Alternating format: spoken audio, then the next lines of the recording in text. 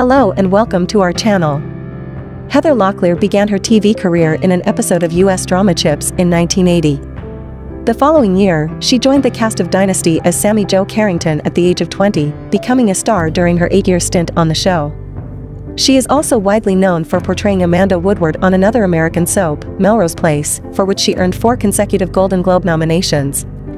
The actress also starred in a series of movies, including sci-fi flick Firestarter and comedies Money Talks, The Perfect Man and Scary Movie 5. Heather Locklear was almost unrecognizable when she was spotted by DailyMail.com cameras last month as she stepped out to run errands in Calabasas.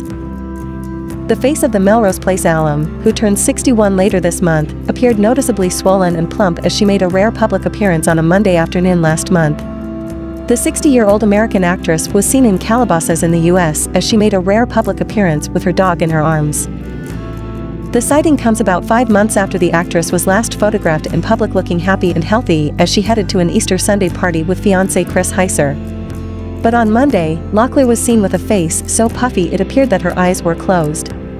DailyMail.com consulted with Beverly Hills plastic surgeon Dr. Charles Lee to try to determine the reason for her swollen appearance, but he did not believe it to be the result of a cosmetic procedure. After reviewing the photos, the surgeon told DailyMail.com he did not see any indication of a plastic surgery or Botox treatment on the actress. Locklear, who got engaged to her childhood sweetheart in 2020, otherwise appeared to be in good spirits during the trip and at one point seemed lost in thought as she left a local shop. The Hollywood star looked comfy and casual in ripped army green overalls, a white tank top, and black flip-flops, and had her pet Maltese dog, Mr., tucked under her arm.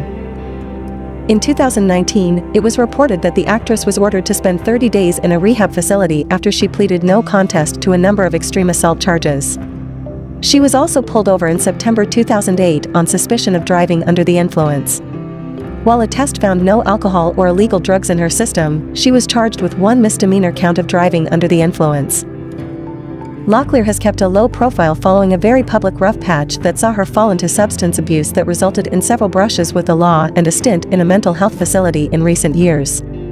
The actress has had a troubled time in recent years, having been arrested on suspicion of domestic violence. In March 2008, paramedics and police officers rushed to Locklear's home when a man claiming to be her doctor called 911, saying he feared she was trying to commit suicide. However, the actress appeared fine when cops showed up at her door. She has since got back on the straight and narrow, and recently celebrated over two and a half years of sobriety. She also made her return to the small screen last October 2021, starring in Lifetime TV movie, Don't Sweat the Small Stuff, the Kristine Carlson story, her first project in almost five years. The former Melrose Place star played Kristine Carlson, co-author of the best-selling book Don't Sweat the Small Stuff, which she had written with her husband Dr. Richard Carlson.